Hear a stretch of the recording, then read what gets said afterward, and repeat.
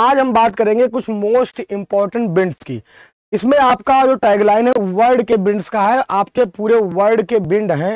लेकिन सबसे पहले हम एक इंडिया की हवा की बात कर लेते हैं, जिससे भारत के लोग ना, भारत के लोग बहुत ही भयभीत रहते हैं। भैया, कि दोपहर में घर से बाहर मत निकलो नहीं लू लग जाएगी। नींबू पानी पीते रहो नींबू पानी पीते रहो आम का पानी पीते रहो। मैं तो इस हवा की चपेट में कई बार आया हूँ क्योंकि जब मैं क्रिकेट विकेट खेलता था तो बार बार पानी की बहुत ज़्यादा नीड होती थी और हम लोगों के पर जहाँ पर ग्राउंड था वहाँ पर दूर दूर तक कोई नल नहीं हुआ करता था। तो कई बच्चे इसकी चपेट में आते थे लेकिन हम लोग बिल्कुल आ, बोलते ना कि मज़बूत हो चुके थे इस हवाई हवा का भी कुछ दिन के बाद असर नहीं होने लगा। हम लोग कहने लगे कि हम लोग लू के भी फादर हैं। तो जो बच्चे इस हवा की चपेट में आएँगे, उनको पता होगा कि क्या भयंकर स्थिति होती है कि it is hot and dry सबसे पहले आपसे पूछ सकता है कि लू किस टाइप की हवा है। तो आपका सिंपल सा एक आंसर होगा। अच्छा सबसे पहले मैं पेन सेलेक्ट कर लेता हूँ। पेन सेलेक्ट कर लेता हूँ और कई बार बच्चे हमसे पूछते हैं कि, सर, आप का जो ये कलर है, आप पिंक से लिखते हो और ये पिंक से ही क्यों लिखते हो? तो आपको पता है कि भारत में या वर्ल्ड की बात करें तो सबसे ज़्यादा महिलाओं में ब्रिस्ट कैंसर होता है, स्तन कैंसर होता है। ये उन्हीं महिलाओं को समर्पित है जिन लोगों ये इसकी शिकार हो चुकी हैं। तो उनको आगे बढ़ाने के लिए, उनका मनोबल हाई करने के लिए इस कलर से मैं लिखता हूँ। क्योंकि ये अच्छा कलर होता है और ये बेस, बेसिकली ये उन्हीं को डेडिकेट किया गया कलर उन्हीं को समर्पित है। ठीक है इसको पेड करा लिया इस कलर को तो आपको पता होना चाहिए महिलाओं को इंडिया में सबसे ज़्यादा या विश्व में ब्रेस्ट कैंसर होता है स्तन कैंसर होता है महिलाओं में तो ये बेसिकली उन्हीं का मनोबल बढ़ाने के लिए कि उनको भी लगे कि हमारे साथ सेंचुरियन डिफेंस अकेडमी के टीचर भी खड़े हुए हैं ऐसा उनको फील होना चाहिए। हर जगह उनका सपोर्ट करना है ये आपको पता होना चाहिए ठीक है? तो सबसे पहले आपको पता है किस टाइप की हवा है। It is hot and dry ये गर्म और शुष्क हवा है। मतलब इतनी ज़बरदस्त हवा है कि आपको थोड़ा सा भी आपको ठंडी की फीलिंग नहीं देगी। मतलब जब ये हवा चलती है ना तो सबसे पहले आपके चेहरे पे गरम गरम जैसे आग का ना भाप होता है ना, आपके भाप के जैसे आपके चेहरे पर मारेगा और जल जाएगा, आपको पता होना चाहिए। ये ग्रीष्म काल में भारत और पाकिस्तान पाकिस्तान तो नहीं, नल्लापुर है वो ये गर्मियों में इंडिया और नल्लापुर मीन्स पाकिस्तान के उत्तरी मैदानी इलाकों में बेसिकली राजस्थान, वाजस्थान वाले एरिया में आपको पता होना चाहिए। बहुत तेज गति से चलती है बेटा हाँ। उनका झटका पश्चिम से पूर्व की ओर है। इनका अनुभव आमतौर पर दोपहर में होता है। मतलब दोपहर में कब होगा? 12 बजे के बाद होगा। नहीं कि सुबह ही आठ बजे शुरू हो जाएगी आपकी लू की हवा। लू हवा कब चलती? दोपहर के बाद चलती, पूरा माहौल बनाकर चलती है। और जिसको एक बार ना पकड़ लेती है ना, वो बहुत दिक्कत होती उल्टी, दस्त बहुत ज़्यादा वीकनेस बॉडी में आ जाएगी क्योंकि बहुत ही हॉट एंड ड्राई विंड है ये। गर्म और शुष्क हवा है आपको ये पता होना चाहिए। इनका अनुभव आमतौर पर दोपहर में होता है और तापमान 45 डिग्री सेल्सियस से 50 डिग्री सेल्सियस के बीच रहता है। जब भी आपके एरिया में टेम्परेचर 45 से ऊपर रहेगा बेटा, आप समझ जाइएगा कि हमारे एरिया में लू हवा चल रही है।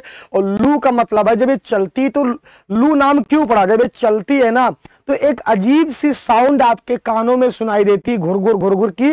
तो उसको इसीलिए कहते हैं मेरे बेटे कि लू चल रहा है कि ये आपका इंडिया और पाकिस्तान वाले एरिया में ज़्यादा चलती है। बेसिकली नॉर्दर्न एरिया में आपको पता होना चाहिए। जब टेम्परेचर 45 डिग्री सेल्सियस से 50 डिग्री सेल्सियस के बीच में रहेगा तो ये हवा आपकी बहुत तेज गति से रन करती है और इस हवा के चपेट में आने से अच्छे अच्छों की हालत खराब हो जाती है। बिस्तर पकड़ लेते डॉक्टर सुई पर सुई लगाता ग्लूकोज की बोतल, ले झमाझम ले झमाझम ग्लूकोज की बोतलें चढ़ती हैं, क्योंकि इसमें वाटर की कमी आपकी बॉडी में हो जाती बॉडी आपकी डिहाइड्रेट हो जाती है। आप बिल्कुल मरने की कगार पे आ जाते हो, आप यही बोलते हैं भगवान, ये लू हवा कब खत्म होगी? तो लू कभी नहीं खत्म होगी, क्योंकि टेम्परेचर ऐसे इंक्रीज होता रहेगा। हाँ चलिए, आगे बढ़ते दूसरी हवा की बात करेंगे बेटा। जो हमारे सामने दूसरी हवा आ रही है, उसका नाम है चिनूक। ये बहुत ही खतरनाक हवा है, जो मैं आपको बता देना चाहता हूँ। ये सब गर्म हवा है। और ये कहाँ से वर्जिनेट होती तो आपको पता होगा नॉर्थ अमेरिका कॉन्टिनेंट आपको पता होगा। वहाँ पर एक माउंटेन्स है, जिसका नाम है रॉकी माउंटेन्स रॉकी माउंटेन्स से ये ओरिजिनेट होती है, और रॉकी माउंटेन्स पे आपको पता होगा, एक ट्राइब रहती है जिसका नाम है रेड इंडियंस क्या नाम है बेटा? रेड इंडियंस ट्राइब है। तो ये ट्राइब बहुत ज़्यादा परेशान होती इस विंड से, इस हवा से बहुत ज़्यादा उसको नुकसान होता है। फिर रॉकी माउंटेन्स से नॉर्थ अमेरिका कॉन्टिनेंट के रॉकी माउंटेन से वर्जिनेट होती है। तो Chinook is the name of the hot and dry local wind Chinook एक गर्म और शुष्क स्थानीय हवा का नाम है। या रॉकीज यूएसए और कनाडा के पूर्वी ढलानों से नीचे की ओर चलती है। चिनूक का अर्थ है बर्फ़ खाने वाला। मतलब ये इतनी हॉट होती है कि जिस भी बर्फीले एरिया में पहुँच जाती है, पूरे वहाँ के बर्फ़ को ये डिस्ट्रॉय कर देती है, पूरे बर्फ़ को पिघला देती है और पिघलाने के बाद जब बर्फ़ पिघल जाएगा, पानी खत्म हो जाएगा तो कुछ दिनों के बाद वहाँ पर बहुत ही ग्रीनरी हो जाएगी, बहुत ही हरे भरे घास उगाएँगे। जो ये बिंड है बेटा, ये पशु पालकों के लिए ये जो पशु को चराते हैं, पशुओं को चराते हैं, जो पशु को पालते हैं, ये उनके लिए बाकी बहुत ही फ़ायदेमंद हवा होती है, आपको पता होना चाहिए। तो चिनूक का मीन्स होता है बर्फ़ को खाने वाला। The meaning of Chinook is snow इधर as they help in the early melting in the melting of the snow बर्फ़ को खाने वाला क्योंकि ये बर्फ़ को जल्दी पिघलाने में मदद करते हैं। मतलब जब भी चिनूक चलेगी, आपको पता चिनूक एक हेलीकॉप्टर का भी नाम है, सभी लोग शेयर करते चलेंगे। जब भी ये चलेगी तो ये बर्फ़ को क्या कर लेगी बेटा? बर्फ़ को खा लेगी, आपको पता होना चाहिए। और ये यूएसए और कनाडा के एरिया से ओरिजिनेट होती है। और ये एक गर्म, एक शुष्क, स्थानीय हवा का नाम है। ये रॉकी यूएसए और कनाडा के पूर्वी ढलानों से नीचे की ओर चलती है। मतलब माउंटेन से बेटा जब भी ये उतरेगी तो बहुत स्पीड से उतरेगी, ऐसे उतरेगी, फिर ऐसे सीधा हो जाएगी और फिर ये यूरोपियन कॉन्टिनेंट की ओर निकल जाएगी। नॉर्थ अमेरिका से ओरिजिनेट होने के बाद जब ये यूरोपियन कॉन्टिनेंट की ओर ओरिजिनेट होगी तो स्विट्जरलैंड, फ्रांस वाले एरिया में वहाँ पर सभी बर्फों को ये पिघला देगी, जिससे कि वहाँ पर जो ग्रेप्स की एग्रीकल्चर है, जो अंगूर की खेती है ये अंगूर की खेती करने वाले फार्मर्स के लिए काफ़ी बेनिफिशियल बिंड है और ये ड्राई एंड हॉट बिंड है, ये आपको पता होना चाहिए। और चिनूक मीन्स होता है बर्फ़ को खाने वाली हवा। बर्फ़ को ये मतलब इतनी हॉट होती है कि जिस भी एरिया में चलती है, उस एरिया के बर्फ़ को ये क्या कर देती है, पिघला देती है। हॉट बिंड ज़्यादा पूछते इसीलिए मैं इसको लेकर आया हूँ। अगली हवा की बात करते हैं, सिराको। सिराको भी एक गर्म, शुष्क, धूल भरी हवा है। देखो, चिनूक चलती तो उसमें आपको पता है, जब चिनूक चलेगी तो उसमें आपके दस्ट नहीं उड़ेंगे। चिनूक बिल्कुल लू के जैसे एक हॉट एंड ड्राई है। लेकिन जब सिराको बिंड फ्लो करेगी तो सिराको बिंड जब फ्लो करती है बेटा तो इस बिंड के साथ साथ में डस्ट भी अपने साथ लेकर चलती मतलब क्या है? इसकी स्पीड जो है चिनूक से काफ़ी ज़्यादा है। मतलब ये लैंड पर फ्लो ज़्यादा करती है। बिल्कुल ज़मीन की सतह पर चलने वाली हवा है। बिल्कुल ज़मीन के नीचे चलने वाली हवा है। सिराको एक गर्म शुष्क धूल भरी हवा है। इसका उद्गम सहारा रेगिस्तान से होता है। जब भाई सहारा से निकलेगी तो आपको सिंपल सी बात है कि वहाँ से डस्ट पार्टिकल उठाएगी। जब वहाँ से डस्ट पार्टिकल उठाएगी वहाँ से तो सिंपल सी बात है, खतरनाक हवा होगी। आँखों, जो आप आदमी देख सकता है, आपने भी देखा होगा हमारे उत्तर प्रदेश में कभी कभी ऐसी आंधी आती है कि आपकी आँखों से दिखना ही बंद हो जाता है, आपकी आँखों में दर्श चले जाते हैं, आप अंधों की तरह ऐसे ऐसे करते रहते हैं, ऐसे एक आँख खोलकर देखते रहते हैं। तो उसी प्रकार सहारा रेगिस्तान से ओरिजिनेट होती है। या वसंत की हवा है भूमध्य सागर को पार करके। पार करने के बाद सिराको समुद्र की नमी से थोड़ा ठंडा हो जाता है। जैसे ही सहारा रेगिस्तान से क्रॉस करेगी तो आपको पता है कि सहारा रेगिस्तान के नॉर्दर्न एरिया से फ्लो करती है। और आपको पता है उसके बाद मेडिटेरियन सी पड़ जाएगा, भूमध्य सागर पड़ जाएगा बेटा।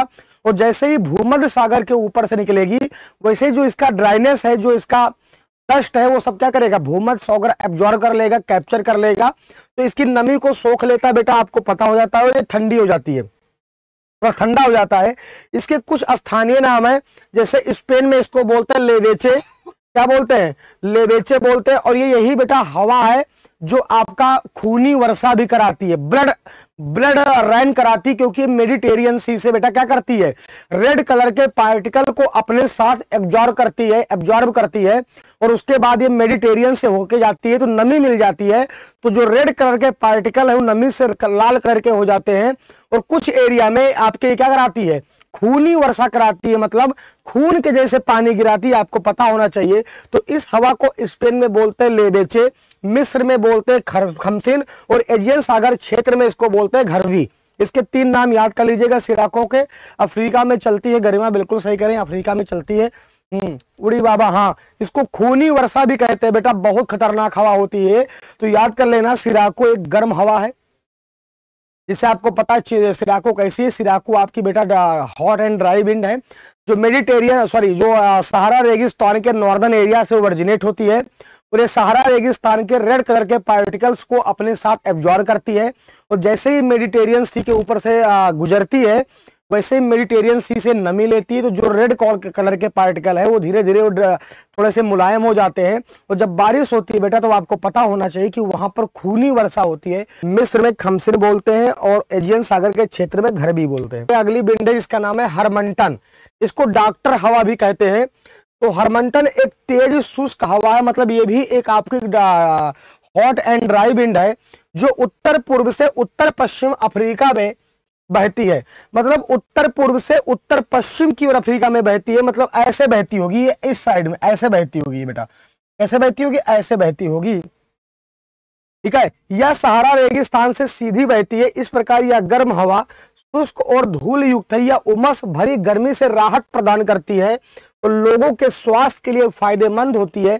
इसीलिए डॉक्टर हवा भी कहा जाता है, बेटा। मतलब जब ये फ्लो करती है तो जिस एरिया में बहुत ज़्यादा गर्मी होती है, बेटा बहुत ज़्यादा गर्मी होती है, वो लोग इस बिंड का वेट करते हैं कि बिंड कब आएगी और बारिश कराएगी और हम लोगों के लिए अच्छा वर्क करेगी बेटा। तो इस एरिया से मोरक्को, आपका अल्जीरिया अल्जीरिया वाले एरिया वाले, समझ गए, ये लोग काफ़ी बेसब्री से इंतज़ार करते हैं। तो कई बार इसको पूछ लेते हैं कि डॉक्टर हवा किसे कहते हैं? तो बेटा, डॉक्टर हवा इसे कहते हैं, आपको पता होना चाहिए, स्वास्थ्य के लिए फ़ायदेमंद है, इसीलिए डॉक्टर हवा कहते हैं beneficial to peoples health health also known as a doctor wind समझिए, डॉक्टर हवा है आपको पता होना चाहिए, क्योंकि इस हवा का लोग बेसब्री से इंतज़ार करते हैं